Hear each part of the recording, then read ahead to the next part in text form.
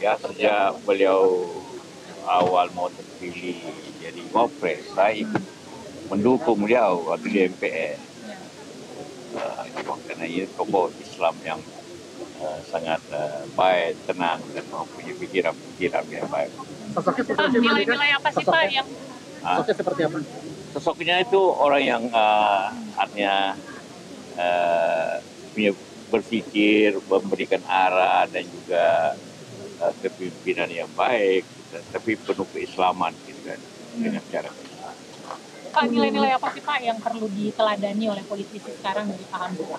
ya suatu etika yang uh, berpolitik dengan etika dengan tujuannya kemajuan bangsa ini. Bukan tujuan apa-apa yang lain selain itu. Ya beliau nggak melaksanakan itu baik sebagai uh, presiden ketua partai yang lama. Salah satu ketua P3 yang lama. Kan? Itu dia pegang teguh itu sekarang. Akhir komunikasi kapan Bapak? Sama Pak? Waduh, uh, uh, kalau ada acara, dia ada acara tulisan acara di istana, dan selalu Tapi kalau Bapak tahu eh, sakit Pak. Hamzah ini sakit apa? saya tadi sampaikan sama putra ya ini ya kita lambung, Hmm.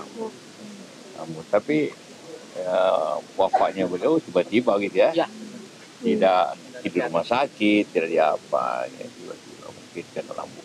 di rumah berarti ya Pak Yusuf Kala ya untuk apa namanya eh, kepulangan Iya. Pak Hamzah itu di rumah ya Pak ya Kalau tiba-tibanya karena apa belum tahu? Apa? Oh, nggak ada sih sama sekali.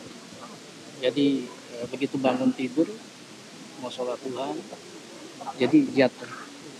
Jadi eh, apa bangun tidur langsung berdiri tiba-tiba blank aja. Husnul Khotimah. Tapi dalam keadaan tidur. Bapak ikut ke pemakaman Pak? Eh, biasanya gua- apa nanti kita lihat.